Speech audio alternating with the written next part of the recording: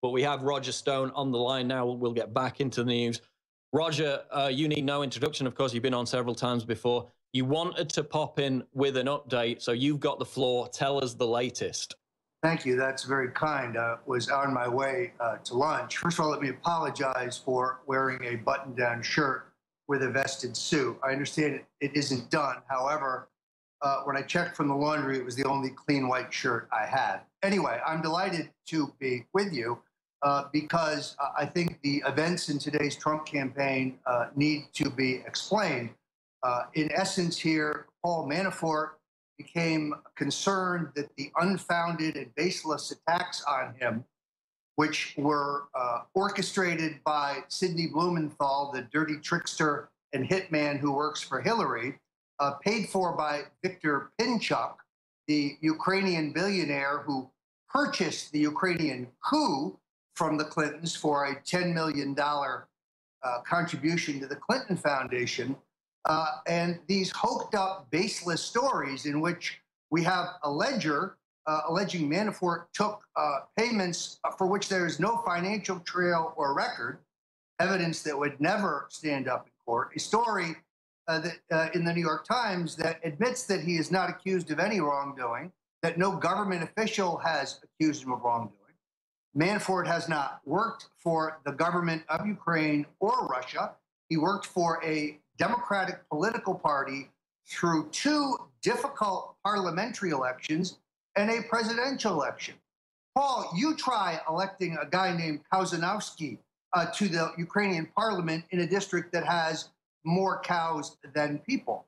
Uh, his payments were legal, and there's no evidence of wrongdoing. But uh, we know that uh, that Sidney Blumenthal, the hitman who works for Hillary, has had a phalanx of investigators all over Kiev and Moscow trying to dig dirt up on Manafort.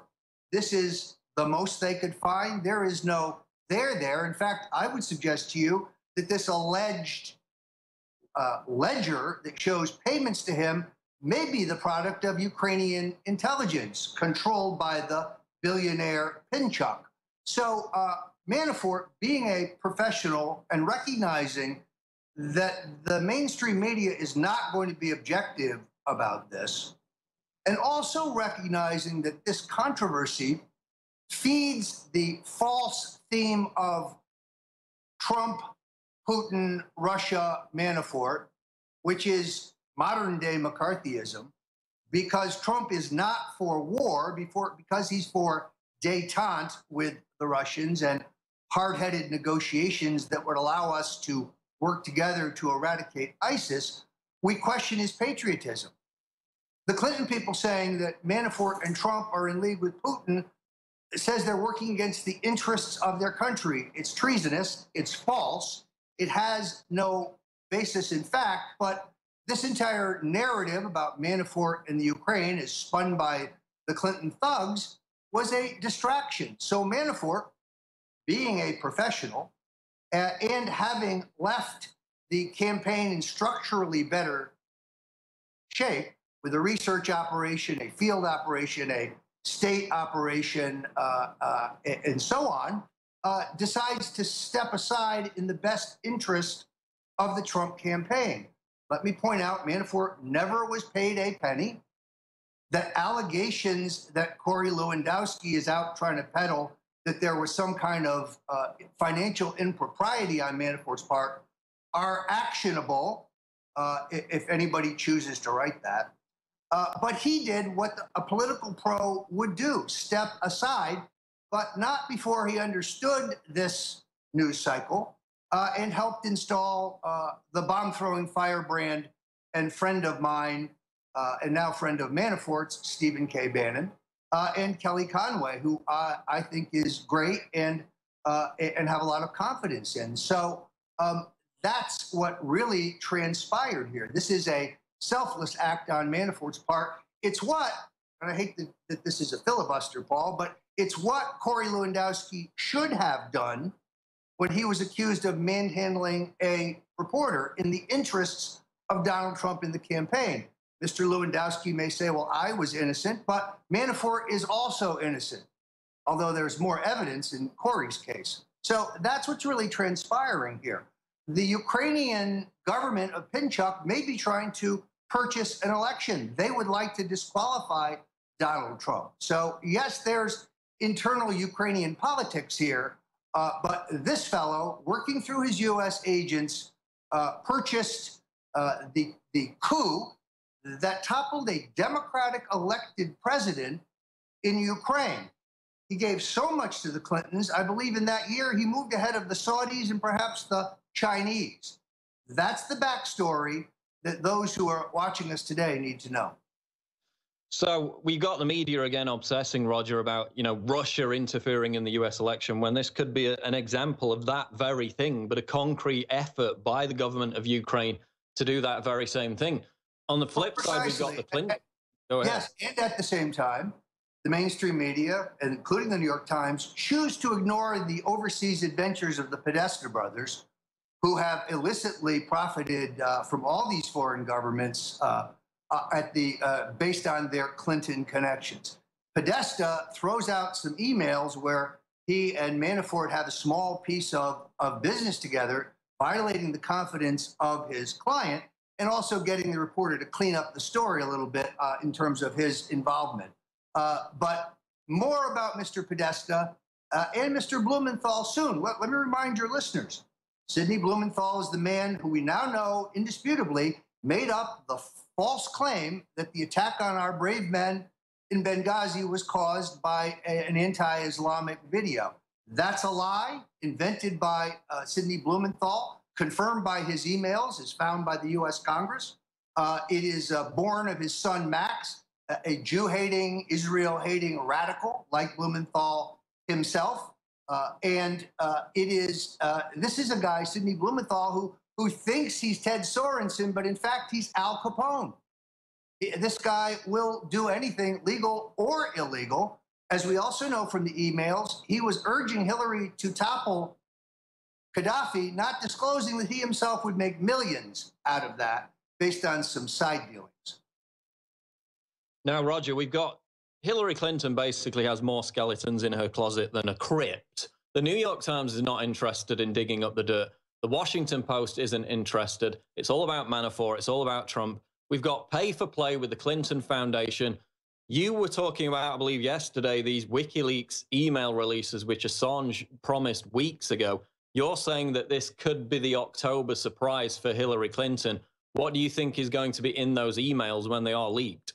Well, but who knows? Uh, I believe, based on uh, my sources of information, that Mr. Assange, who I regard as a hero uh, and someone who's been fighting the deep state, both Republican and Democrat, all neocons, all for war, all globalists, uh, he has uh, uh, released the first DNC documents to cataclysmic effect. But I would point out again that they were first hacked by Guccifer II who is not in the employ of the Russians. Uh, when he put them out, they got no traction, they got no coverage. He took them uh, to WikiLeaks. They confirmed their authenticity and they re released him.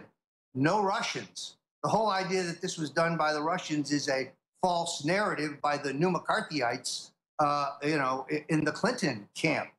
Uh, it is, uh, it is therefore, I think, important to recognize that the mainstream media, particularly the New York Times, is in possession of evidence of extraordinary corruption at the Clinton Foundation, things that have happened since Peter Schweizer wrote his epic book, Clinton Cash. So, ongoing criminal conspiracies. Uh, and uh, the, the media isn't interested in that. But Mr. Assange, I think, has the goods.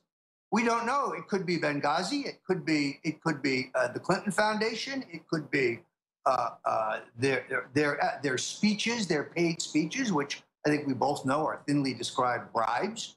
Uh, you know, Bill Clinton announcing that if Hillary's elected, the Clinton Foundation will no longer take contributions from foreign nationals. That's like the uh, closing the barn door after the horse has escaped. The Clintons are crony capitalists. Progressives have figured out they're not progressives. They're globalists. They're neocons, but they're not progressives. Uh, and the way they gave it to Bernie Sanders without the Vaseline uh, was true in Mr. Assange's first data dump. Now, uh, those on the left call us conspiracy theorists when we say that. That's a catch-all. It's try that's supposed to discredit you. But I submit the idea that Donald Trump and Paul Manafort are traitors to their own country and loyal to Vladimir Putin, accusing them of treason. Now, there is a conspiracy theory. That's the greatest stretch I've ever heard. As far as I'm concerned, I am a lifelong anti communist. I happen to know that Vladimir Putin doesn't like Paul Manafort, in fact, dislikes him because Manafort pressed his client Yanukovych to join the European Union over the objection of the Russians. Now, final couple of minutes in this segment, Roger. Uh, we had the big Trump speech yesterday. The media is kind of spinning the narrative that this was a, a huge apology. Um, what concerns me about it is you have Repo establishment Republicans praising Trump, the same people that have, you know, lost the last two elections, for adopting this kind of conciliatory tone in this speech yesterday. Do you think this was a deliberate pivot by Trump, or is the speech being mischaracterized by the media?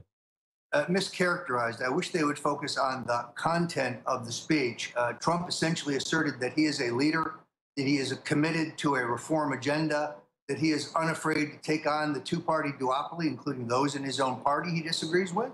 Uh, this was the best speech I have heard him give in this election cycle. It was very uh, uh, well delivered, uh, and I think the, the words were more significant.